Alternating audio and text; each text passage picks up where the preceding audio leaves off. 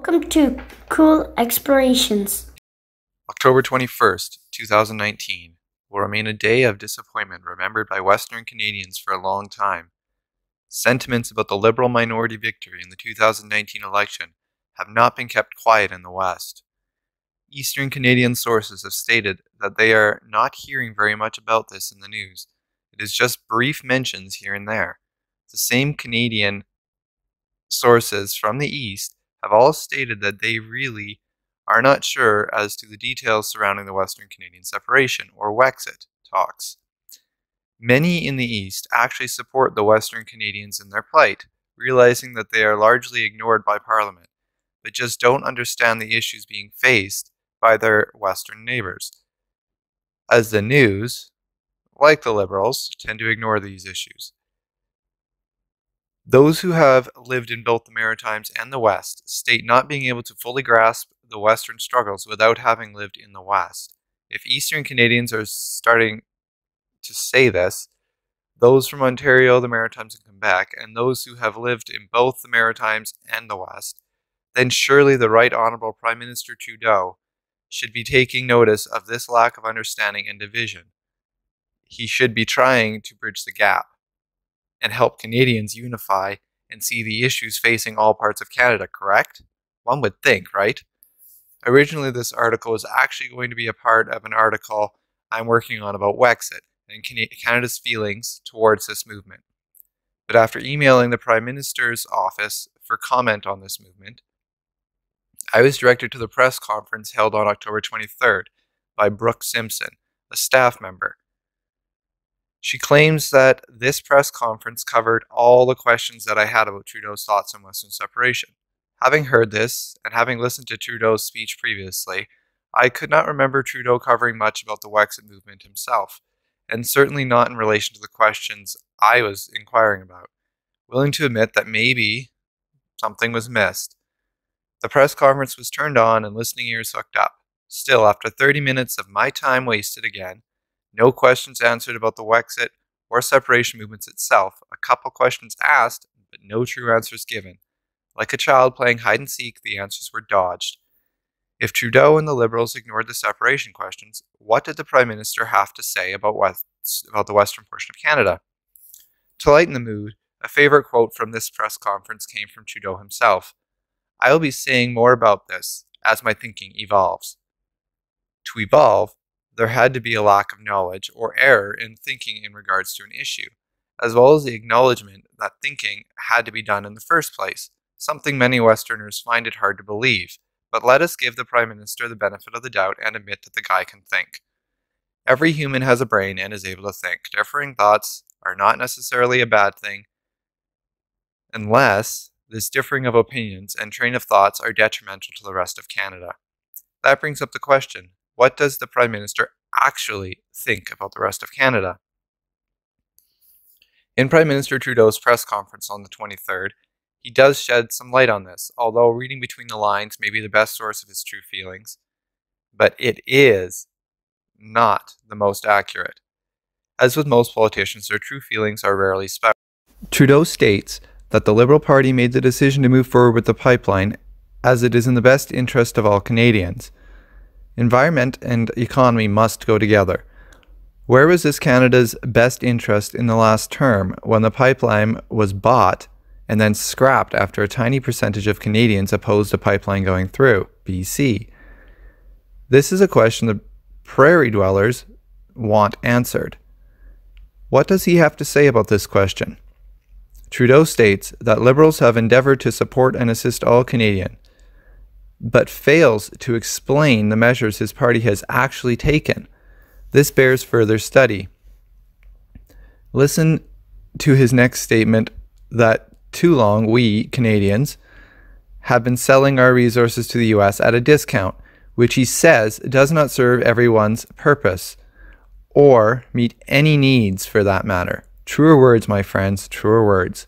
He goes on to say that getting our natural resources and products to the markets other than the US is and remains a priority, which then makes one wonder what his American backers, as stated in the Over a Barrel documentary, think of all this. Guess what? From what I hear from the West, they don't care what these backers have to say.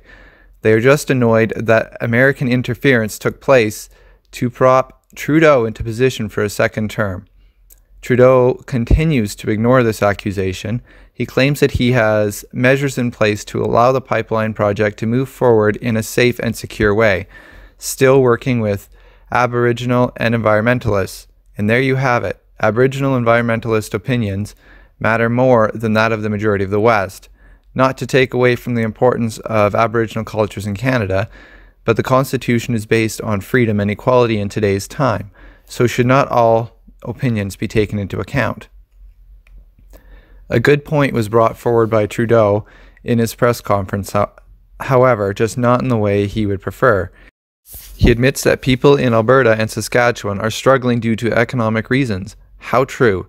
But our Prime Minister fails to take ownership of the situation, nor to admit that Liberal policies are to blame for this demise. Kind of like how he avoids telling Canadians why our nation has been forced to sell our oil at rock bottom prices to the US for them to flip for premium prices. In addition, questions posed in regards to this issue, Trudeau again dodges the real issue. He says that the people of Alberta and Saskatchewan have been suffering due to the circumstances beyond their control. Another statement of truth from Trudeau, but this fails to address the issue being pointed out and yet professionally avoided, like a dodgeball game. Who is at fault for these circumstances?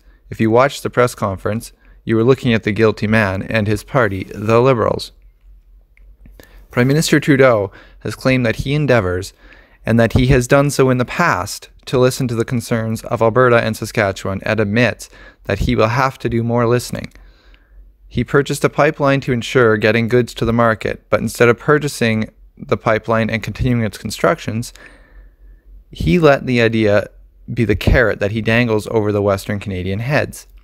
The Western Canadians have declared that both of these claims by Trudeau Liberals are false hence the heavy conservative voting results in the 2019 election. They feel that their voices have not been heard, and that the aforementioned pipeline failure is a big part of that. People living in North Burnaby have confirmed reports of a pipeline boring beginning in the North Burnaby area. But this is a small gesture for the Western anger, although it is a start. He is further claimed to have visited Alberta and Saskatchewan during his election campaign and the previous years to listen to concerns. The truth that Westerners saw during his four years in Parliament and his campaign trail is that the voices of the West do not matter. His claims that he has visited Alberta and Saskatchewan may be true, but their visits were few and far between and the West was largely ignored in his political campaign. His choice was to put his focus on the province of Quebec and the parts of Ontario he felt were his strongest supporters. This is the reason why Alberta and Saskatchewan governments and citizens chose to keep the Liberal Party from getting even one seat in their provinces, which is seen by Canada as a whole, but the East has chosen comments of hate rather than understanding, comments calling the West whiners and saying that they are ungrateful. These comments coming from the very provinces who have benefited most from the West, Quebec and Ontario, comments like these further the divide and are not helpful in finding a resolution. A final thought comes from the comment Trudeau made that does not just pertain to the West, but still shows where the West fits into the scheme of things with the Liberal Party. He states that no relationship is more important to him and the Liberals than that with the Indigenous people of Canada. They are truly an important part of this country and its amazing heritage. But should not all people of the country be equally important in our Prime Minister's eyes? From this, we can then generate a hierarchy of Canadian citizens in Trudeau and the Liberals' minds based upon a collection of statements they have made while in term too many to possibly cover. We have Trudeau, always most important in Trudeau's mind, Indigenous people of Canada, Quebec, the rest of the Francophones, the rest of Eastern Canada, immigrants, and LGB, LGQBT. Basically, they have the same level in Trudeau's minds tools to be used as pawns for his party. Women, whom he also views as pawns. Western Canada, about whom he pretends to listen to, The order will change, of course, depending on whom he is speaking to or needs most at that particular moment in time. But the West always seems to remain at the bottom. I will leave you all with a fresh reminder from Trudeau's own words in, about the West. I will be saying more about this as my thinking evolves. Settle in for a long ride, folks. Trudeau is thinking this could take a while. Remember to like and subscribe.